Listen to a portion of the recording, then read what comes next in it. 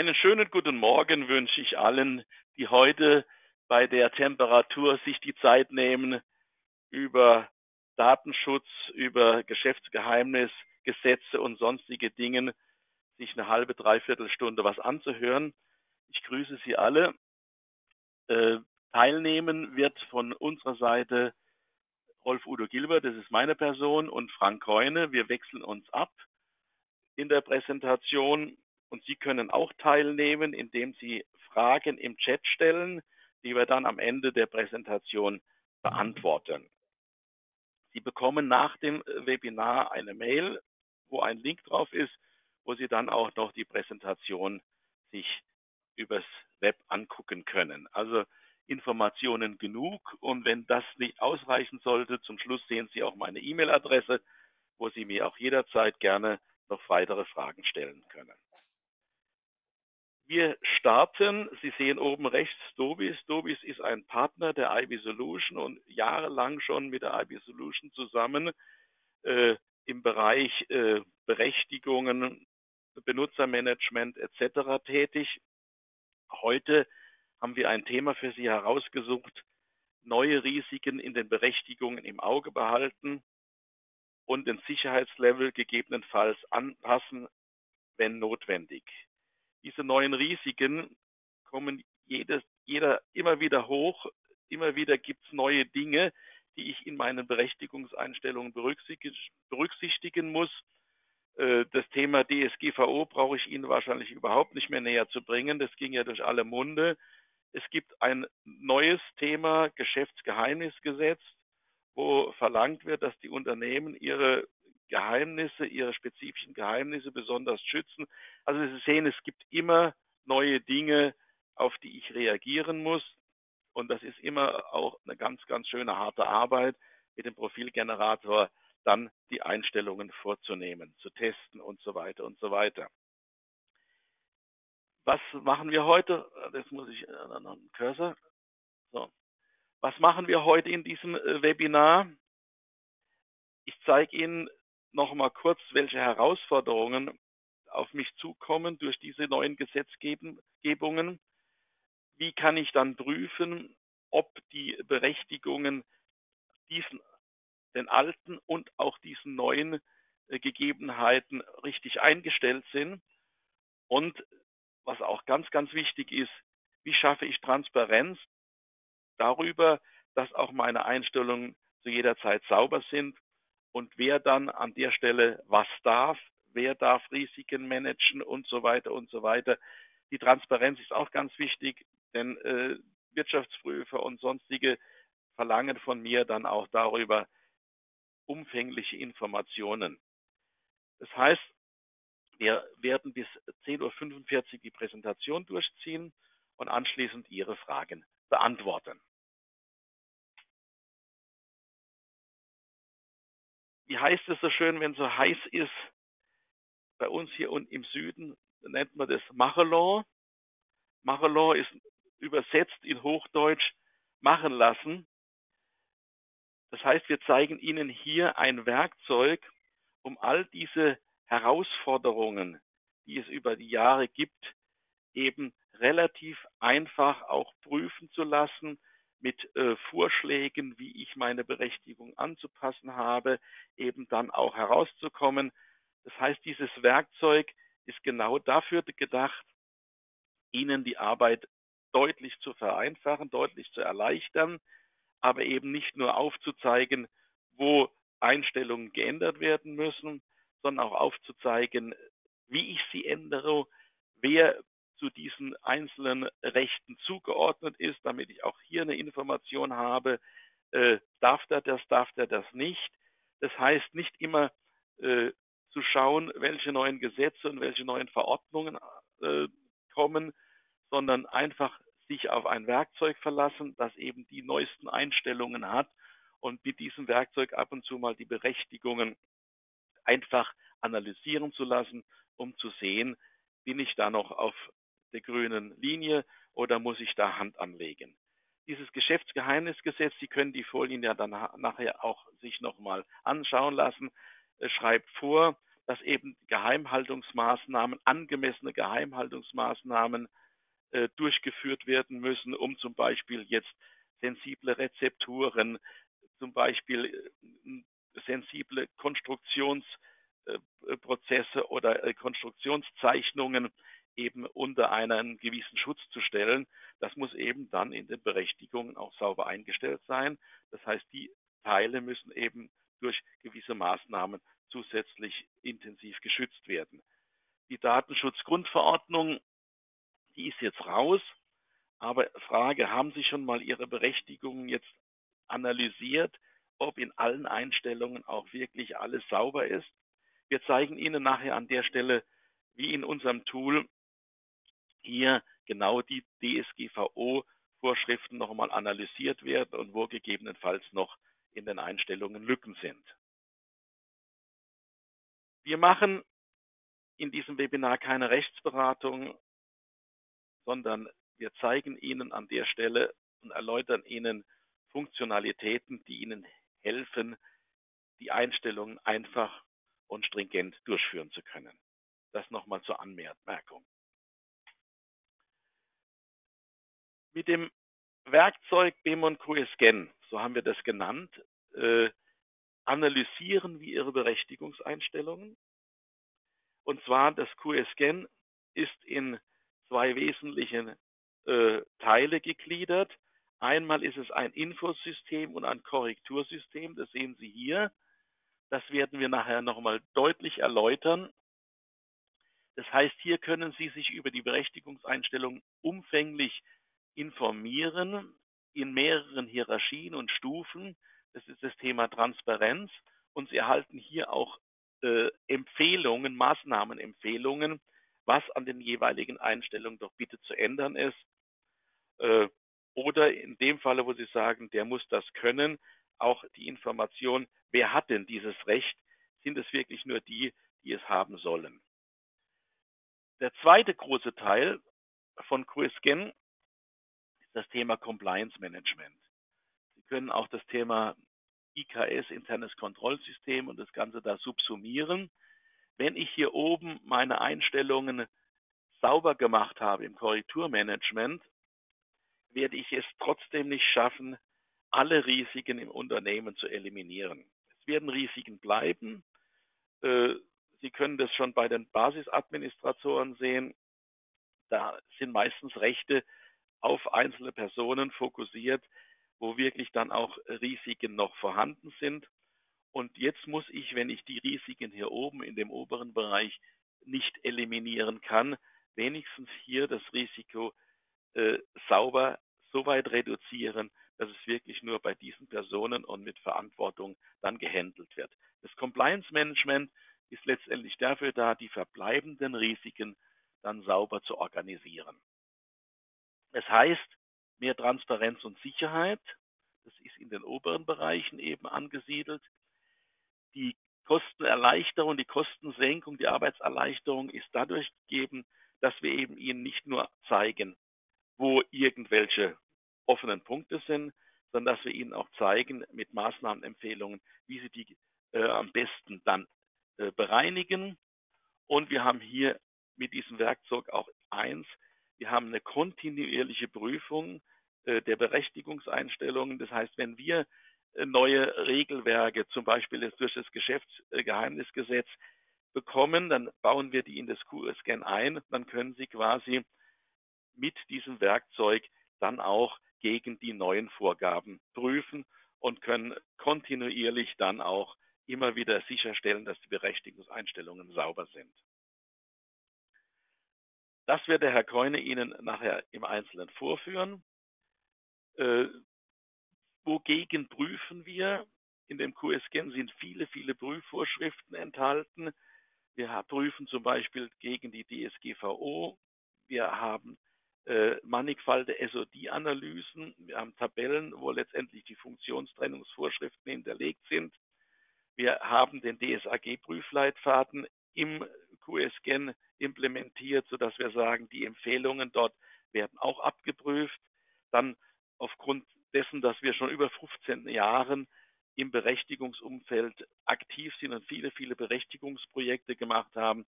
Auch zusätzliche Prüfungen noch, zum Beispiel äh, Transaktionen in größeren Bandbreiten, ACTVT, Stern und solche Dinge werden geprüft.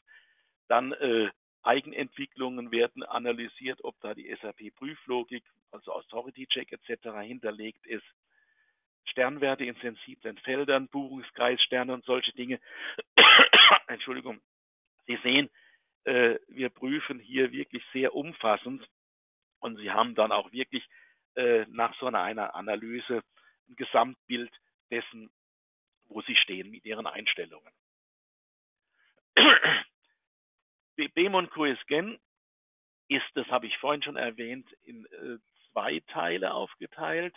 Das heißt, hier gibt es das Korrekturmanagement und Infosystem, das ist der erste Teil.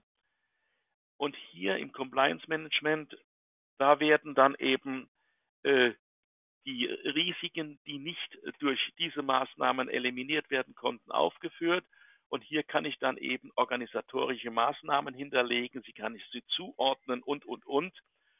Und nachdem hier, das ist das Doing, was Sie als äh, IT machen sollten, was im Fachbereich letztendlich dann auch hier angesiedelt ist.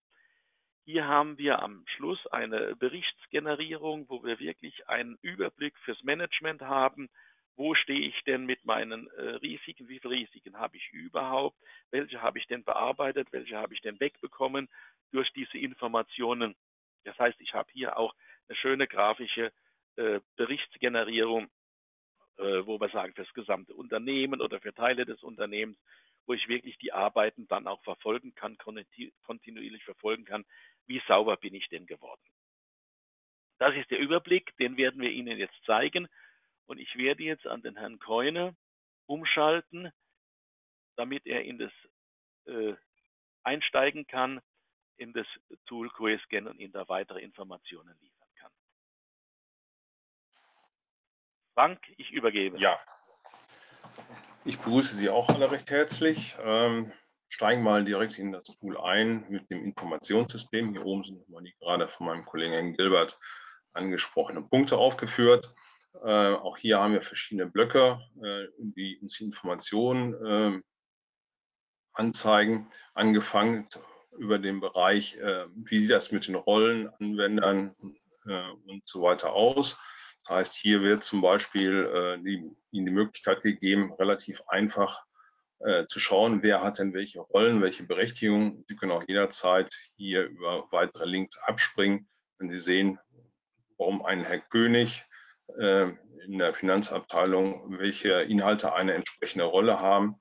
Diejenigen, die sich mit Berechtigungen auskennen, können das sicherlich äh, einfach äh, sehen, dass es die Detailinformationen einer Rolle entsprechend in dieser Übersicht sind.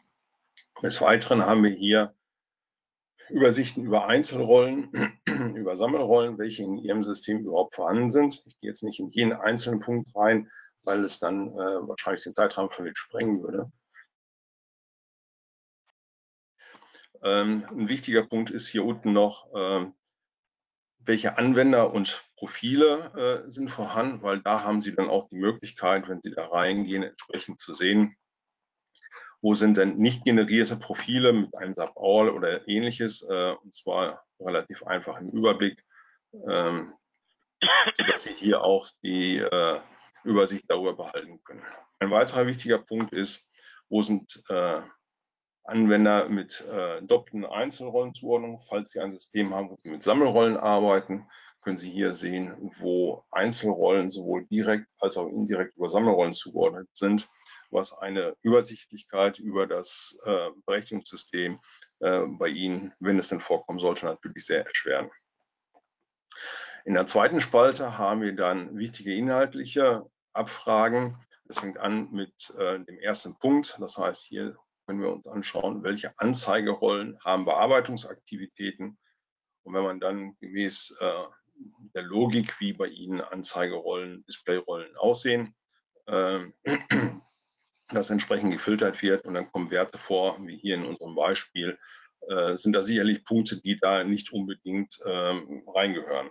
Es gibt auch immer grenzwertige äh, Punkte, wie zum Beispiel ein Standardlayout, darf das in einem an einer Anzeigerolle ähm, geändert werden oder nicht. Da gibt es unterschiedliche Meinungen. Da gibt es jetzt auch äh, überall unsere Kunden, äh, wenn man das betrachtet, keine einheitliche Meinung. Und von daher werten wir diese, ja, ich sage immer ganz gerne, grauen Einstellungen auch aus, sodass Sie dann selber entscheiden können, ob das für Sie in Ordnung ist oder ob das ein Bereich ist, wo Sie selber sagen, äh, das sollte doch bei uns entsprechend äh, rausgenommen werden.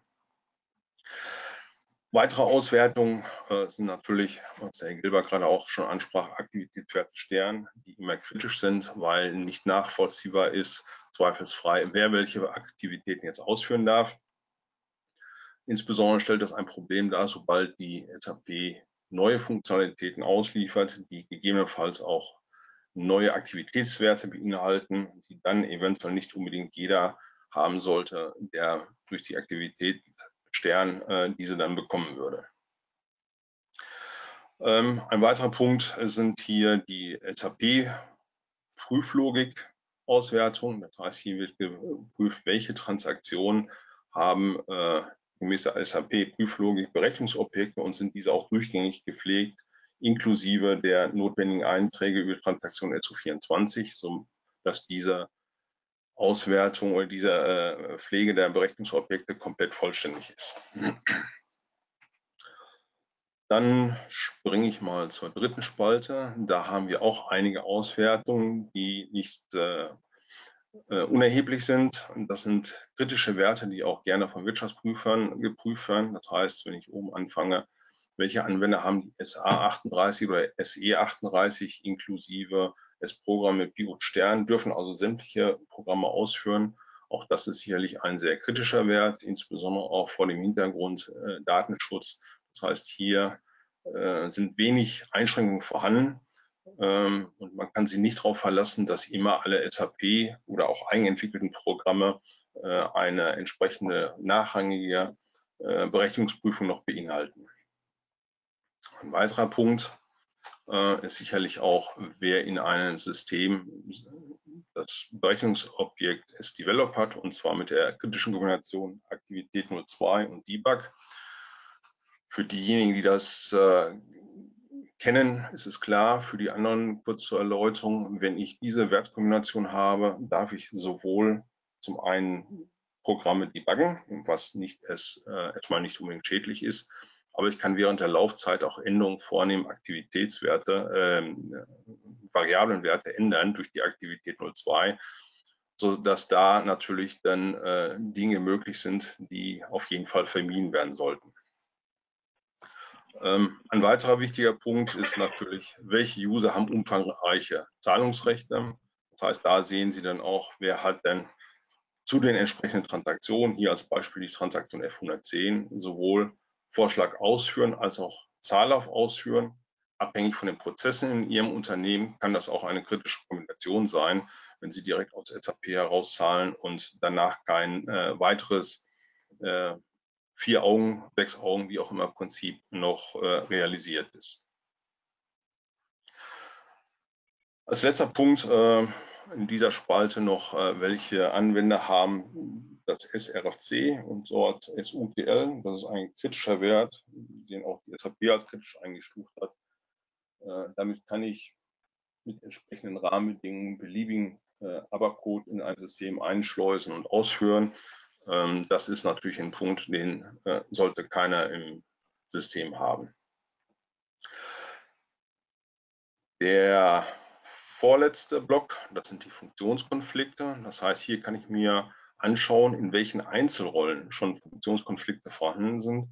Das heißt, hier kriege ich jetzt aufgeführt, dass halt zum Beispiel in dieser Kreditorenbuchhalterrolle äh, Funktionalitäten drin sind, sowohl äh, zum Erfassen von Lieferantenrechnungen als auch Zahlungen an diese Lieferanten. Also kann sowohl Zahlungen initiieren als auch Rechnungen erfassen.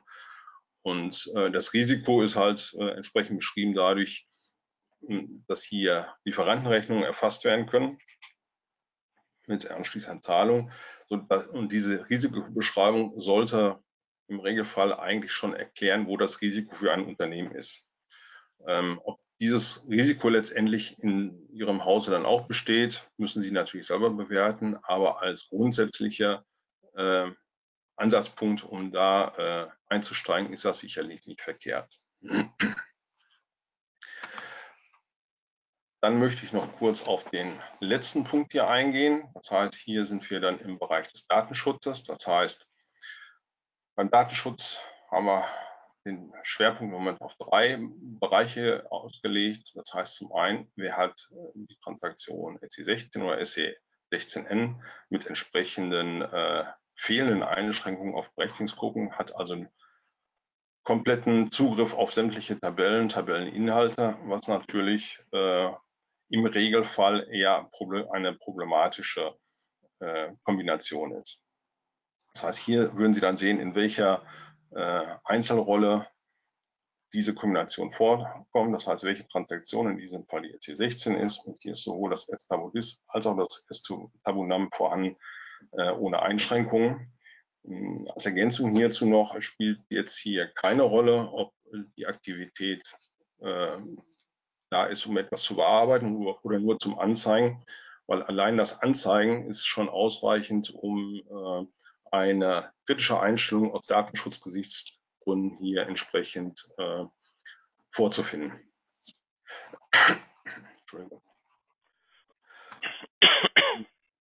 Ein weiterer Punkt, der als äh, schwierig einzustufen ist, wenn Sie mehr als einen Buchungskreis haben oder mehr als eine Verkaufsorganisation, sind diese obersten Ebenen sicherlich immer äh, sehr schwierig, weil dann eine notwendige Abgrenzung, sodass äh, die Maßgabe, nur die notwendigen Daten äh, anzuzeigen oder darauf Zugriff zu haben, äh, hier natürlich äh, potenziell unterlaufen wird.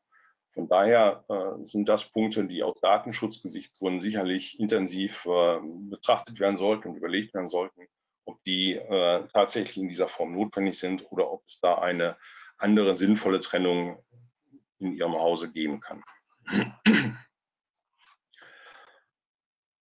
Dann noch einen letzten Punkt aus diesem ganzen Bereich. Das heißt, hier sind wir jetzt in dem Bereich äh, des HCM, des äh, HR-Systems, ähm, hier haben wir dann äh, Auswertungen, wo die eigentlichen äh, Einschränkungen, die in äh, Ihrem System gemacht sind, äh, ausgehebelt worden sind. Das ist bei dieser Kombination mit dem Berechtigungsobjekt PABAP äh, sicherlich möglich.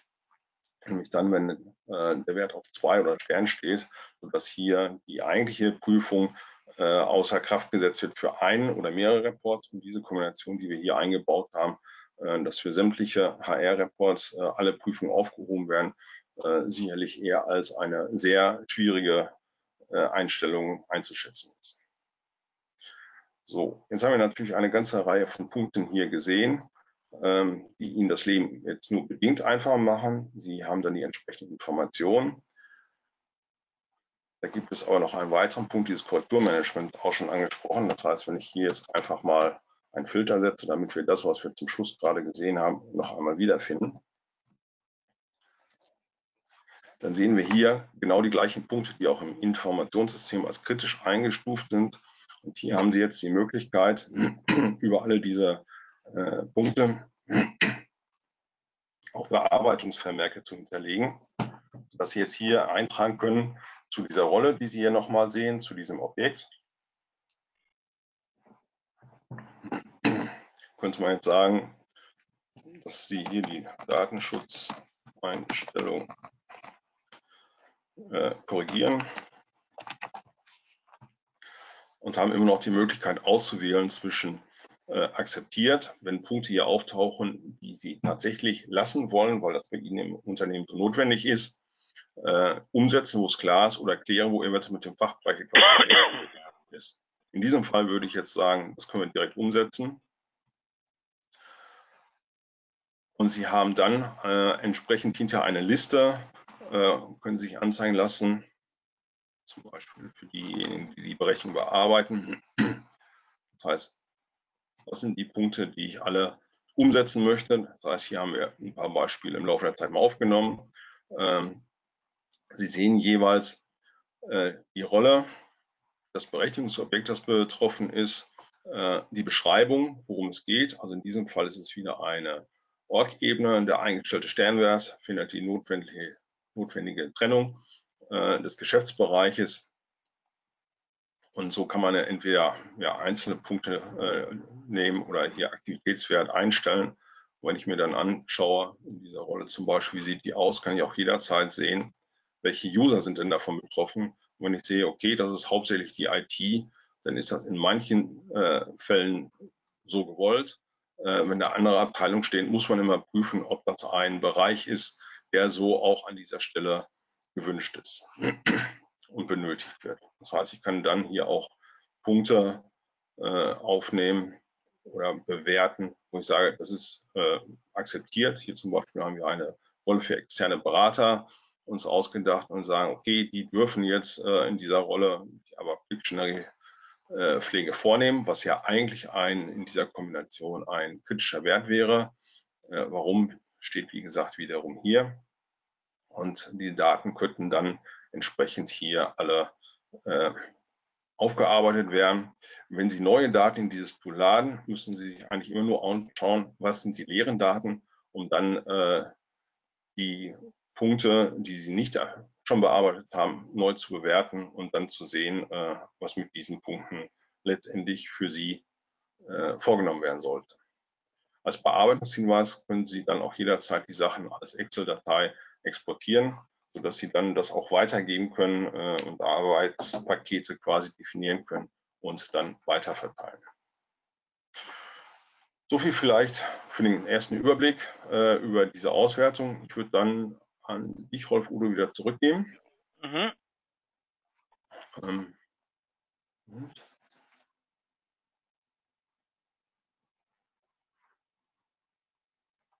okay. Sieht man mein Bildschirm? Ja. Okay. Also wir haben jetzt das Info- und das Korrektursystem äh, gesehen. Das heißt, wir haben gesehen, äh, was hier an Ergebnissen bei diesen einzelnen Menüpunkten auftaucht. Funktionstrennungsvorschriften, DSAG-Prüfleitenfadenempfehlungen, all das sind äh, Dinge, die eben da in dem Infosystem abgewickelt werden und die ich dann mit dem Korrektursystem nachbearbeiten kann. Wenn ich dann eine zweite Analyse fahre, und ich habe nachgearbeitet, müssten im Grunde eigentlich diese Punkte verschwunden sein. Verschwunden heißt, ich habe letztendlich mein Berechtigungssystem sauber und sicher gemacht, aber leider gibt es gewisse Dinge, die eben nicht so einfach aus organisatorischer Sicht sicher gemacht werden können. Ich habe zum Beispiel einen Herrn Müller, der im Lager Inventur zählen und Inventuren bearbeiten soll. Das ist eine One-Man-Show, die ist im Außenlager. Ich habe da keinen zweiten Mitarbeiter.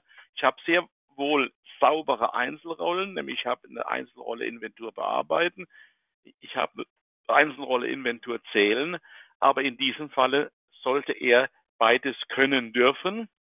Das heißt, ob ich das jetzt über Sammelrolle zuordne oder über Einzelrolle zuordne, die Entscheidung ist gefallen, er soll beides können. Und dann brauche ich eben einen Hinweis. Ich brauche einen Hinweis, der mir sagt, Vorsicht, hier ist ein Risiko, hier kann potenziell Schaden angerichtet werden und hier kommt die rote Ampel, in dem im Infosystem eben dann dieser Punkt aufleuchtet. Das heißt, das ist ein SOD-Konflikt der aus zwei Einzelrollen besteht, weil in beiden in jeder jeweils eine Einzelrolle eben Transaktionen mit äh, Org-Einheiten angesprochen sind, die in Kombination dann zu diesem Risiko führen. Jetzt äh, gibt es die Möglichkeit zu sagen, ich mache auch das weg. Das wollen wir aber nicht. Er soll es ja tun dürfen. Und wie gehe ich jetzt damit um? Die Wirtschaftsprüfer verlangen schon seit langem, dass ich mir über meine Risiken äh, bewusst bin, dass ich sie kenne. Das ist auch gar kein Problem. Es werden nicht nie alle Risiken wegzudenken sein, aber die Wirtschaftsprüfer verlangen eben auch, dass ich geeignete Maßnahmen ergreife und durch eine zusätzliche organisatorische Anweisung sicherstelle, dass hier zum Beispiel Stichproben gemacht werden oder sonstige Dinge gemacht werden, dass dieses dass dieser Punkt, wo eben äh, Diebstahl und solche Dinge entstehen kann, dass der eben dann auch äh, über eine andere Maßnahme dann beobachtet wird und auch kontrolliert wird. Das heißt, diese Kontrollanweisung, die muss ich natürlich dann an dieses Risiko anheften. Ich muss wissen, wer letztendlich diese beiden äh, Rollen hat. Das heißt, in dem Falle wäre es hoffentlich nur der Herr Müller. Und bei der Kontrollanweisung steht da Außenlager, unkritisch und warum auch immer. Und damit ist ein Wirtschaftsprüfer dann zufrieden. Der sagt, ich kenne meine Risiken, ich habe die Risiken, wie so schön heißt, in Neudeutsch mitigiert. Das heißt, ich habe sie abgesichert und ich habe eine organisatorische Anweisung in der Form gemacht, dass ein Chef alle vier Wochen mal eine Stichtagsinventur macht oder was auch immer und mal drüber guckt, damit da kein Unfug passiert. Dann darf ich Risiken haben. Und genau dieser Punkt, der ist jetzt der zweite Teil. Das heißt, ich gucke die Risiken an, wo ich organisatorische Maßnahmen ergreifen muss, wo ich die Risiken bewerten muss. Sie können sich vorstellen, wenn ich mit Stahlträger im Lager arbeite, die werden nicht so schnell in der Hosentasche mitgenommen. Wenn es aber Handy sind, ist die Gefahr schon größer. Das heißt, mir bleibt äh, nichts anderes übrig, als für mich ganz persönlich zu bewerten. Da brauche ich natürlich aber die Fachabteilung dazu. Das kann ich nicht als ITler alleine machen. Zu bewerten, ist das ein Risiko? Und wenn es eins ist, äh, sollte ich dann an der Stelle organisatorische Maßnahmen ergreifen, einen Verantwortlichen benennen, der da diese Prüfungen dann auch durchführt. Das wollen wir jetzt im zweiten Teil uns anschauen. Jetzt schalte ich wieder an den Herrn Keune. So. Und mal gucken, wie das Risikomanagement in QSGen funktioniert. So, dann befinden wir uns hier in diesem Bereich als erstes, in diesem Bereich Compliance Management. Das heißt, hier sehe ich jetzt meine Risiken. Ich nehme jetzt einfach mein Standort zum Beispiel und sehe, ich habe hier viele offene Risiken, um die ich mich eigentlich kümmern muss. Ich springe jetzt meinen Standort Dortmund im Bereich Finanzen, weil wir da schon ein wenig vorgearbeitet haben. Da sieht man das ein wenig besser. Das heißt, wir haben hier offene Risiken, über die man sich noch Gedanken machen muss, wie man damit umgeht. Es gibt Risiken, die man akzeptieren kann. Jetzt kann man gucken, was ist der Hintergrund der ganzen Geschichten. Wir schauen zum Beispiel hier Bearbeiten von Verkaufsbelegen und Manipulation von Kreditlimits für Kunden. Das heißt, hier kommen jetzt, ich kann nachvollziehen, welche Transaktionen zusammenkommen. Ich sehe, von welchen Einzelrollen, die eventuell, äh, von welchen Einzelrollen und von welchen Sammelrollen die entsprechend zu, hier zukommen. Ich hab, kann nachvollziehen, welcher User äh, diese Rollen zugeordnet bekommen hat, um das auch eventuell bewerten zu können und habe dann hier die Möglichkeit hinzugehen und zu sagen, ja, das ist ein Punkt, äh, den ich so nicht lassen kann. Da gehe ich hin, erfasse meine Daten. Das heißt, ich habe hier die Möglichkeit erstmal zu sagen, grundsätzlich zu bewerten, Risiko wird akzeptiert, es ist kein Risiko oder eine Orgamaßnahme, die zu definieren wäre. Und im letzten Punkt kann ich sagen, ab wann ist die Orgamaßnahme gültig? In diesem Beispiel ab dem 1.8. Dann wer ist dafür zuständig? Sicherlich, äh, wenn es eine Vertriebsgeschichte ist, könnte es auch der Leiter Vertrieb, Leiter Finanzen, wie auch immer sein. Also eine Person, die jetzt nicht direkt davon betroffen ist, wäre immer sehr sinnvoller. Und auch hier wäre die Entscheidung, ist da noch was zu klären oder äh, kann ich das direkt umsetzen? Zusätzlich kann ich erfassen, wenn hier noch entsprechend Analysereports einzuplanen sind oder ähnliches, was dann zum Beispiel Team machen würde. Und kann dann so diese Punkte letztendlich hier alle abarbeiten, sodass ich nach Möglichkeit keine offenen Risiken mehr habe.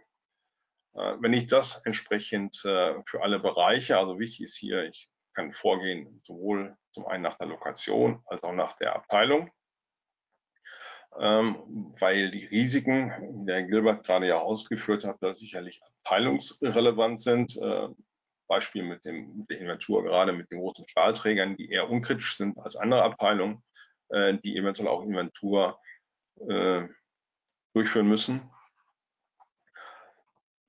dann kann ich das, wie gesagt, abteilungsweise äh, durchgehen und habe anschließend die Möglichkeit hier äh, zu sehen, welche Ergebnisse habe ich denn mit welchen To-Dos für welche Person.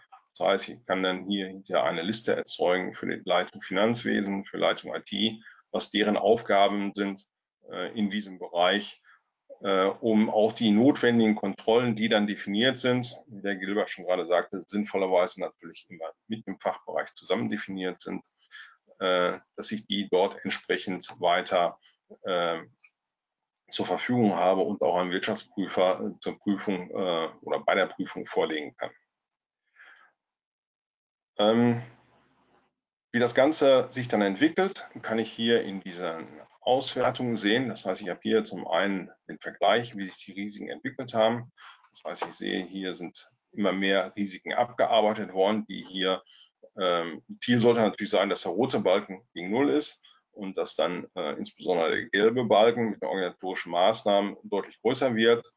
Ähm, ob es das Richtige ist, überall zu sagen, kein Risiko, äh, das kann man sicherlich in Frage stellen, wobei es, wie gesagt, sicherlich auch Fälle gibt, wo kein Risiko äh, die, der richtige Wert wäre. Das Ganze kann ich hier an dieser Stelle auch äh, durchführen, indem ich hier verschiedene Abteilungen zum Beispiel vergleiche. Das heißt, so, wenn ich Finanzen und Controlling vergleiche, dann sehe ich, dass im Controlling noch gar nichts bearbeitet ist. Im Bereich Finanzen, ebenfalls im Standort Dortmund, habe ich dafür schon etliche Punkte äh, analysiert und bewertet. Um das Ganze dann auch zentral darzustellen, habe ich auf verschiedenen Ebenen, also fürs Gesamtunternehmen, Einzellokationen, Abteilungen oder auch nach Modulen, die Möglichkeit, hier Berichte zu erstellen. Das heißt, hier sehe ich dann, wie sich in diesem Fall jetzt für das Gesamtunternehmen die Berichte, äh, die äh, Risiken entsprechend entwickelt haben. Habe dann äh, auch die genaue Anzahl, dass ich hier in diesem Fall noch 536 offene Risiken habe. Zwei sind nicht relevant vier sind akzeptiert und für neun gibt es organisatorische Maßnahmen. Ich sehe dann die häufigsten Risiken nochmal hier separat aufgeführt. Ich sehe auch die Verteilung äh, nach den verschiedenen Abteilungen, ähm, um dann halt auch bewerten zu können, bei welcher Abteilung ich dann entsprechend möglichst äh, gehen sollte mit diesen Dingen, weil sie entweder sehr viele Risiken haben oder für mich sehr wichtig sind und sie auch, wie die Risikoverteilung nach Modulen ist. Denn Finanzmodule sind sicherlich für viele Unternehmen äh, kritischer als Risiken im Bereich der Fertigung, Modul PP oder ähnliches. Das wären also diese Berichte, die an dieser Stelle hier oben äh, möglich sind. So, und äh, ich habe auch die Möglichkeit, diesen Bericht immer auszudrücken, als äh, Word-Datei zu exportieren, dass sie dann noch ähm, nachbearbeitet werden kann, äh, dass sie entsprechend weitergeleitet werden kann, so dass ich dann hier umfangreiche Auswertungen äh, zur Verfügung stellen kann, wie der aktuelle Stand und wie der Verlauf äh, der Berechtigungen im aktuellen System sich entwickelt haben. Gut, dann würde ich wieder an dich zurückgeben, Frau Fuller. Okay.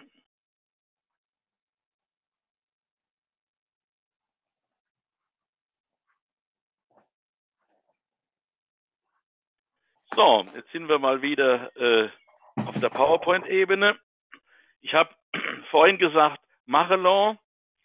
Sie sehen jetzt einfach das alles mit dem Werkzeug Profilgenerator in den Griff zu bekommen.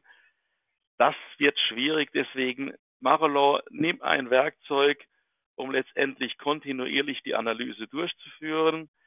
Äh, die Analyse führe ich immer dann durch, wenn ich die Berechtigungsdaten in das QSCAN geladen habe.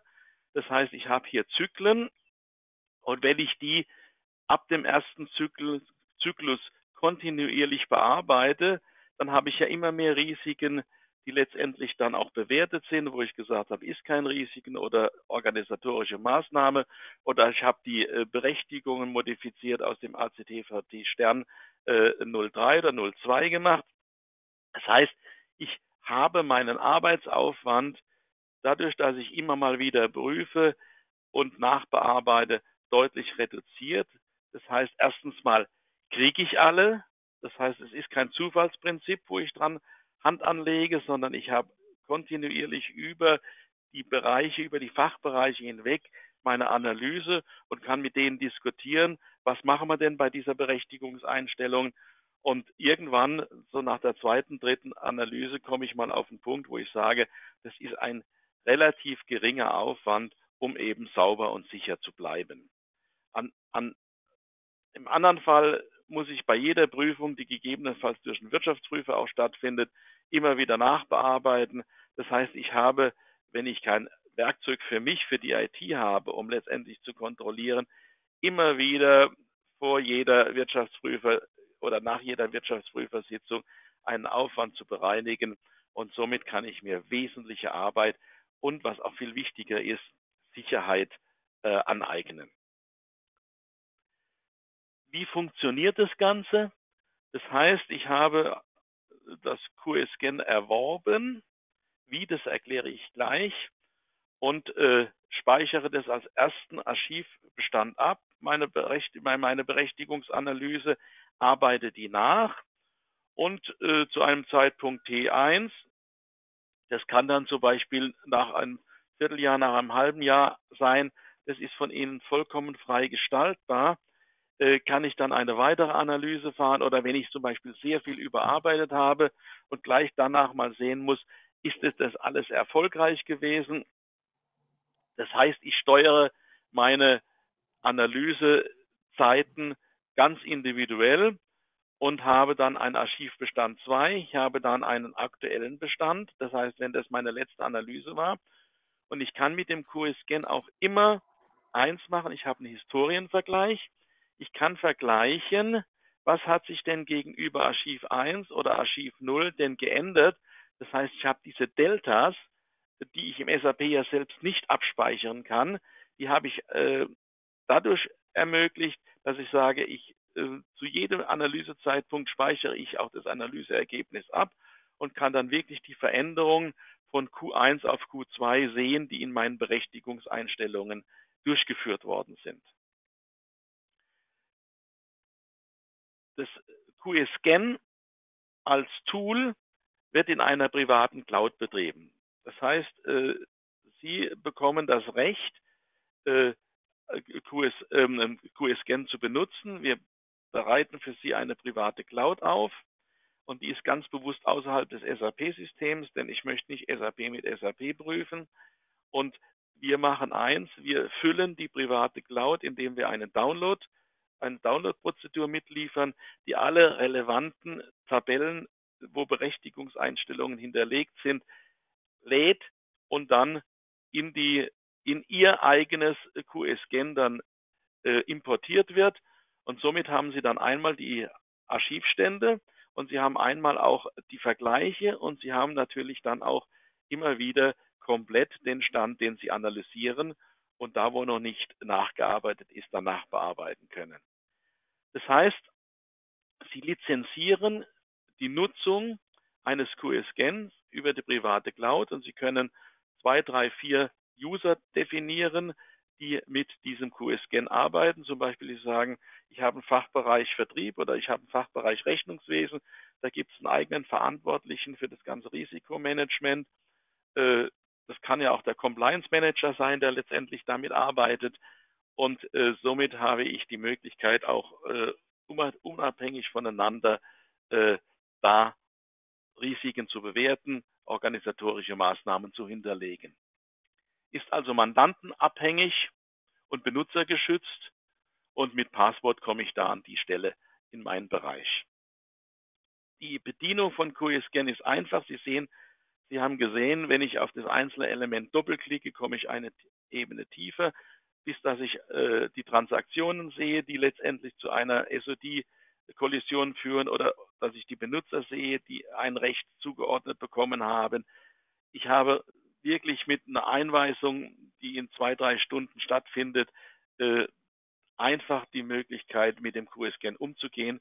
Wichtig für uns ist es, äh, das muss ja nicht unbedingt ein SAP-User sein. Wenn das Richtung Compliance Management, Auditoren etc. geht, haben wir hier eine Oberfläche, äh, die sehr intuitiv und einfach bedienbar ist. Und da muss einer nicht unbedingt einen SAP-User haben. Das QScan gibt es in zwei Varianten. Einmal nur das Informations- und Korrekturmanagement. Das ist der erste Teil, den der Herr Keune Ihnen gezeigt hat. Und wenn Sie auch noch dann äh, in Richtung IKS gehen wollen, also wirklich auch Organisationsmaßnahmen hinterlegen, Risiken bewerten wollen, dann empfiehlt es sich, äh, V2 zu erwerben, denn diese organisatorischen Maßnahmen, die dann von Ihnen erfasst worden sind, die können Sie aus, die können Sie dokumentieren. Sie können an der Stelle eben dann auch diese Übersichten machen. Wo habe ich noch nach, Nachbearbeitungsbedarf? Das ist das, wenn Sie QScan als IKS nutzen wollen, wenn Sie lediglich in Ihren Berechtigungseinstellungen äh, Korrekturen vornehmen wollen, äh, die letztendlich vom DSAG Prüfleitfaden empfohlen werden, dann reicht die Version 1. Das muss man im Einzelnen sehen. Sie können auch mit V1 anfangen und sagen, okay, jetzt habe ich meine äh, Berechtigungseinstellungen soweit in Ordnung gebracht. Jetzt gehe ich an Q2, jetzt möchte ich gucken, was bleibt äh, an V2, was bleibt denn jetzt noch übrig an Risiken, wie muss ich denn damit umgehen. Wir haben noch ein, zwei Folien. Äh, wir können QScan in zwei verschiedenen Formen Ihnen anbieten. Wir können sagen, wir machen eine einmalige Analyse äh, und dann eine Bewertung vor Ort, indem wir mit Ihnen über das Ergebnis sprechen und Sie dann mit dem Profilgenerator äh, die Nacharbeit machen. Das ist eine einmalige Aktion. Äh, die hat einen einmaligen Preis und dann ist das Thema soweit durch. Sie kennen Ihre Einstellung, Sie wissen, wo was zu tun ist. Sie haben eine saubere Dokumentation und äh, wir können die ganzen Listen, die der Herr Keune gezeigt hat, eben auch als äh, Excel herauslassen, sodass Sie im Grunde diese Listen dann nutzen für eine Nachbearbeitung. Wenn Sie aber sagen, na, das nützt mir ja nichts, ich möchte irgendwann auch mal äh, weiter prüfen, da kommen ja neue äh, Geschäftsgeheimnisgesetze und so weiter dazu, ich möchte immer up-to-date bleiben, dann bietet sich die äh, permanente Nutzung an. Die Permanutzung heißt, das ist ein jährlicher Preis. Das heißt, Sie bekommen das QScan in der Cloud zur Verfügung gestellt und können jederzeit monatlich, vierteljährlich, wann auch immer eine eigene Analyse fahren und die werde dann auch nutzen für eine Nachbearbeitung. Und da haben Sie im Grunde hier, wenn Sie sagen, ich brauche zwei User, ich habe 500 äh, SAP-Anwender, ich bin in einem Mandant, haben Sie diese Preise einmal hier äh, das ist V1, das ist die Version 1, nur die Basisversion mit Info- und Korrekturmanagement. Und das ist der Preis insgesamt für V1 und V2, also inklusive dem Risikomanagement dabei. Sie können, das habe ich vorhin gesagt, wie gesagt, hiermit starten und sagen, das macht dann irgendwann mal später Sinn, dass ich das auch erweitere. Und das ist es auch schon. Äh, zu irgendwelchen Fragen bitte ich Sie jetzt, den Chat zu benutzen, dort Fragen zu hinterlegen. Und ich wäre jetzt soweit, dass ich auf Ihre Fragen reagieren kann. Wenn Sie äh, sagen, ich möchte aber bitte schön das Ganze ganz privat mit mir oder mit dem Herrn Keune machen, haben Sie hier denn die Kontaktadresse, wo Sie mich auch äh, direkt erreichen können, wo wir Ihnen dann zu dem einen oder anderen Punkt auch nochmal intensiv äh, dann auch Antwort geben können. Jetzt schaue ich mal Chat. Chat. Nachrichten an, an Organisation.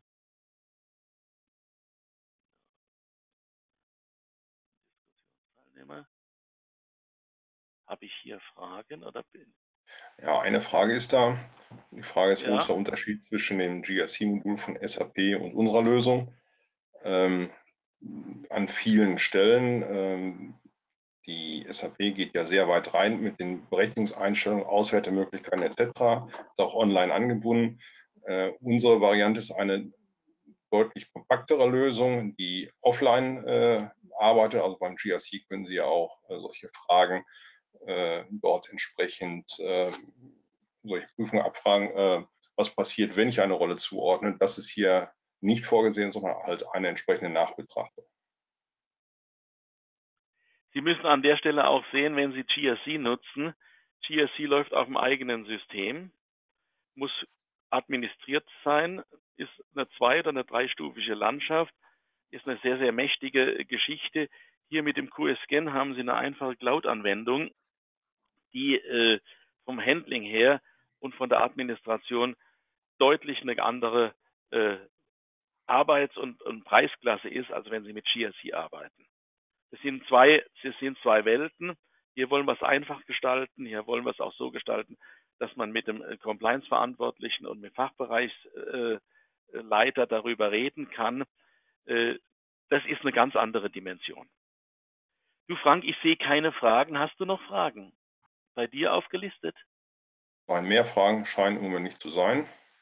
Wie der Herr Gilbert schon sagte, kommen Sie gerne auf uns zu, wenn noch Fragen im Nachgang auftauchen. Ansonsten würde ich mich von meiner Seite schon mal verabschieden und mich bedanken.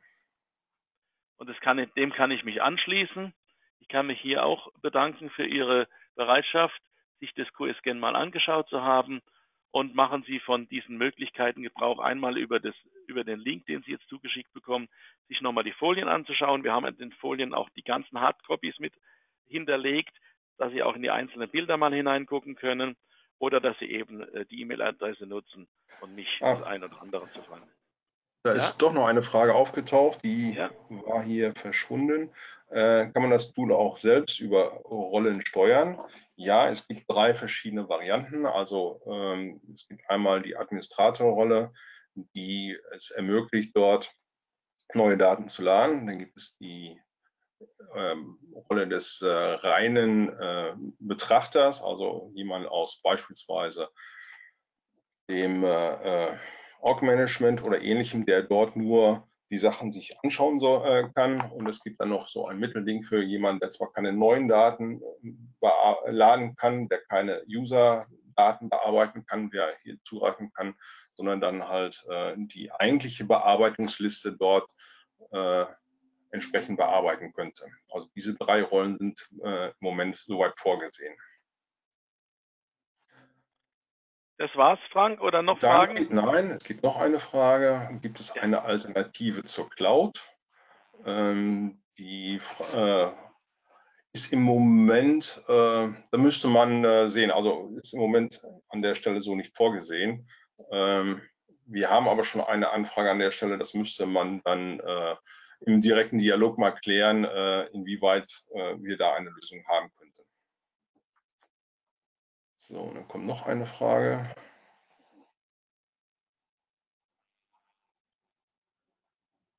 Hier sehr klein, deswegen dauert das immer einen kleinen Moment. Äh, die Frage ist, ob hier auch eigene äh, Berechtigungskombinationen vor, äh, eingepflegt werden können. Also für die Eigenentwicklungen, YZ-Transaktion, eigenen Namensraum ist es äh, vorgesehen. Da ist es äh, grundsätzlich auf jeden Fall möglich.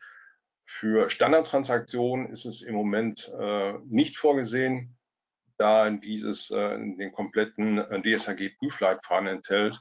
Äh, ist dort keine, im Moment noch keine weitere äh, Variante vorgesehen.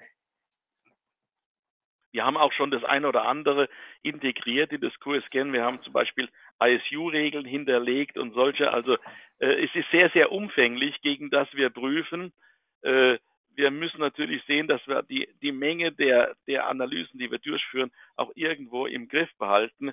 Denn wenn das dann hunderte von Seiten werden, äh, dann ist das Ganze irgendwann auch mal hinfällig, denn das bearbeitet keiner. Das ist unsere Erfahrung. Wir haben wirklich die wesentlichen Dinge, die aus den Erfahrungen der letzten Jahre, wo wirklich auch Prüfer dann äh, darauf hingewiesen haben, die haben wir integriert in den Prüfalgorithmus, der aber, wie gesagt, mit äh, Eigenentwicklungen natürlich angereichert werden muss. Denn wenn Sie aus der F110 irgendwo eine, eine Z110 machen, dann ist das auch Zahllauf. Äh, dann sollte das natürlich an der Stelle mit aufgenommen. Das muss sogar mit aufgenommen werden.